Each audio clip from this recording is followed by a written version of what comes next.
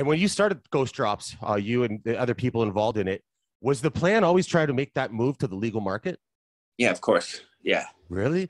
When we So, start- when we started, it's about like you know understanding, you know, like obviously, look, I sold drugs my whole life. My partner sold, other partner sold drugs. Whole, like this shit is not like foreign to us in that sense. But like you know, when we put a brand behind it, like that was the purpose of it, right? Like we weren't just doing it to throw a name out there and hopefully it just like become something like nah like this was the goal. I don't know if you could tell like if you follow ghost drops in the black market like we are very meticulous on how we did a lot of things right? And the point of doing that was because i seen these gaps in the market that weren't really being catered to on the, on the black market you know as far as transparency marketing just like a lot of things that you know the average consumer would want to feel when purchasing cannabis right? Like we all take pride in it and i felt like there wasn't a company in canada that a lot of people were taking pride in.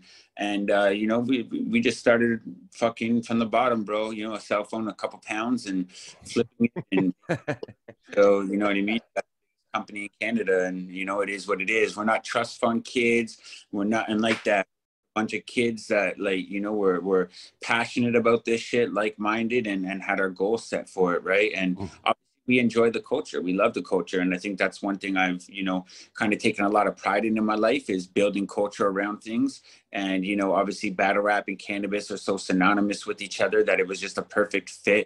You know me even wondering what i want to do with battle rap how i'm going to continue in my life like it just made a lot of sense bro. Like it allowed me to still focus on battle rap. You know ghost drops allowed me to carry king of the dot through a lot of tough times you know financially yada yada Mhm. yada was a real support system for king of the dot and making a lot of people's favorite battles happen. You know what i mean